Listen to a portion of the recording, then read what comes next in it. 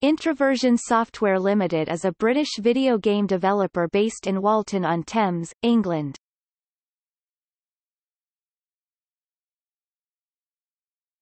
Topic. History The company was founded in 2001 by three friends, Chris Delay, Mark Morris, and Thomas Arundel, who met as undergraduates at Imperial College London. The company originally labeled itself, the last of the bedroom programmers. Due to the trio working out of their homes, they moved into an office when working on their fourth game, Multiwinia. Their first released video game, Uplink, was programmed and designed almost exclusively by Chris, while Mark and Tom handled marketing, materials and the other business elements. Their small initial investment enabled them to buy CDRs and printer cartridges. Early copies of the game were handmade. The company was able to fully make back their investment within a few hours of accepting orders. A large community formed and the team, along with a new programmer Andy Bainbridge, started work on two new games. Darwinia was released to much critical acclaim and was eventually re-released via Steam on 14 July 2005 On 29 September 2006, Introversion Software launched its third game, Defcon. Shortly after, Introversion had measured their bandwidth in terabytes for the first time.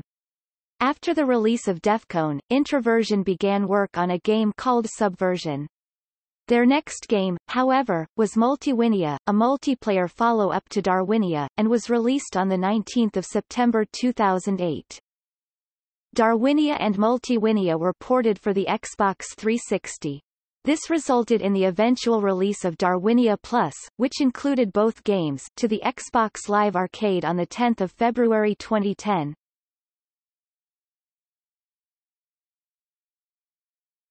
Topic. Subversion delay and prison architect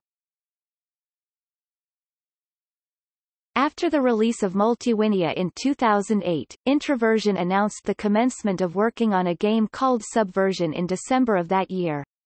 This was followed by a series of blog posts about the development of the game and its procedurally generated urban areas and the game was shown at the World of Love event in 2010. In October 2011, after three years in development, Subversion was announced as delayed. Their new game was announced as Prison Architect during the Humble Indie Bundle release of Introversion games and tech demos of Subversion material, along with a treasure hunt of information on the new game hidden within the tech demos.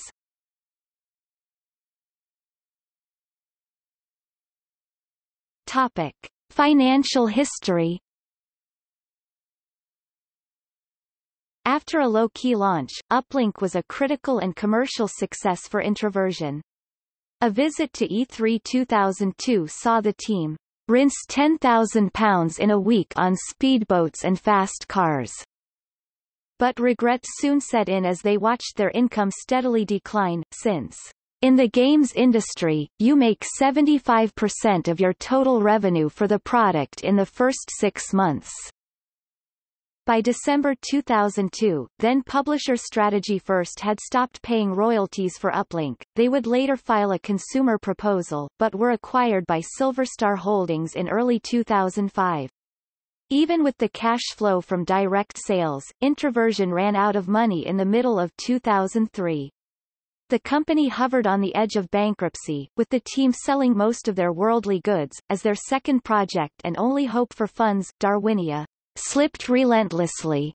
Darwinia was eventually released in March 2005 but despite a strong opening weekend, sales soon slipped too low to sustain the company. Within six months, the developers were back on UK government benefits until November, when they contacted Valve Corporation, on a whim, to try to set up a digital distribution deal on their Steam platform. Valve responded enthusiastically and, following a 14 December 2005 online launch, digital sales, which exposed the game to a new, global audience, kept the company going through to the release of their third game, Defcon.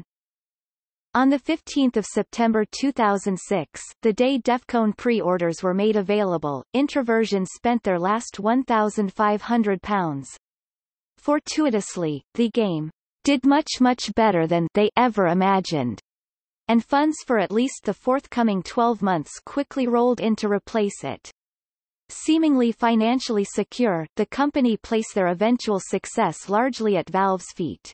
Steam has made Introversion a commercial success. Tom Arundel is quoted saying, by early 2010 the company was back in financial trouble. After spending over a year porting Darwinia Plus to the Xbox 360, the game was not successful at launch. It just really bombed. We missed the entire audience, I think. Director Mark Morris said. The launch was in fact so poor, the company was able to tell in the first 10 minutes that it would not make enough money to save the company. At this time the company was so deeply in debt that by continuing operation the directors faced criminal prosecution under UK insolvency law. Tom Arundel spent a lot of time in those final days genuinely convinced that we were trading insolvently, probably trading insolvently, which is a criminal offence. So he was arguing that we needed to stop immediately, completely down tools, or there was a very real possibility that we would face prosecution. Slowly Introversion's finances changed again. In Q3 2010 the company was able to add Steam achievements to Defcon which resulted in the game being prominently featured in a sale. Morris credits the $250,000 generated by the Steam promotion as saving the company. Later, Introversion's games were featured in a Humble Indie bundle that launched in November 2011.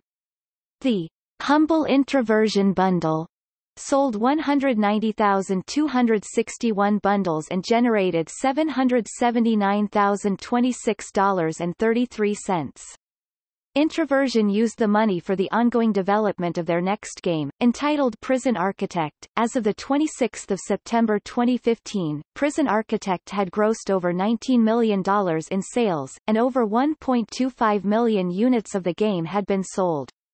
By the end of August 2016 when the final version 2.0 of Prison Architect was released, the number of individual players was given as 2 million.